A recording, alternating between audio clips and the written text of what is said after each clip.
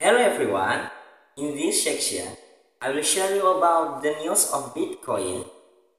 The title is This Crypto Roll Potentially Strengths throughout the second week of October 2022.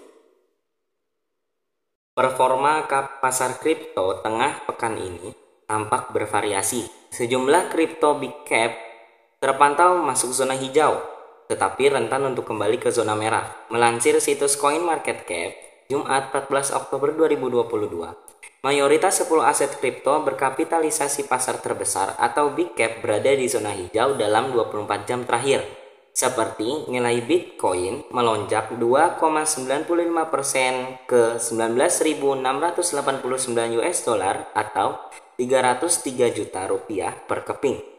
Melemah ke level terendah sejak Oktober 2022 setelah rilis data inflasi Amerika Serikat.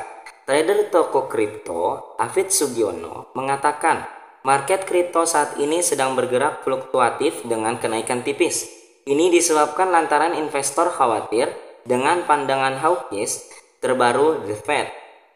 Tingkat inflasi yang tinggi dapat menyebabkan investor untuk berinvestasi lebih banyak dalam uang fiat sehingga menjauh dari market. Sehingga wajar saja jika investor memilih bersikap wait and see selama dua hari terakhir. Ucap Afid dalam keterangan tertulis dikutip Jumat 14 Oktober 2022. Dalam kondisi pasar seperti ini, Afid menyebut ada beberapa aset kripto yang berpotensi menguat sepanjang pekan kedua Oktober 2022. Adapun deretannya sebagai berikut. Yang pertama ada Terra Classic USD atau disingkat USTC. Menjadi kripto pembuka dalam daftar aset kripto bullish pada pekan ini. Afid menjelaskan USTC melonjak sebagai respons terhadap proposal REPEC terbaru oleh pengembang inti LUNC. Afid melihat ke depan mengikuti proposal Repek USTC oleh pengembangan inti Terra Klasik. Tobias Anderkan Aka Zarada telah melihat kenaikan harga kripto tersebut sampai 2 digit persentase. Yang kedua, Dogecoin.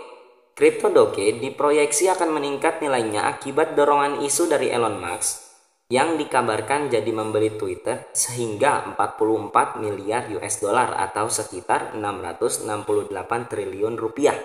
Seperti yang diketahui hubungan antara Elon Musk dan Dogecoin saling terkait dan erat. Otomatis apa yang dilakukan Musk membuat harga Dogecoin sering kali terpengaruh. Yang ketiga ada Hedera. Hedera mengalami kenaikan harga 8% dari 0,055 US dollar menjadi 0,637 US dollar dalam seminggu terakhir.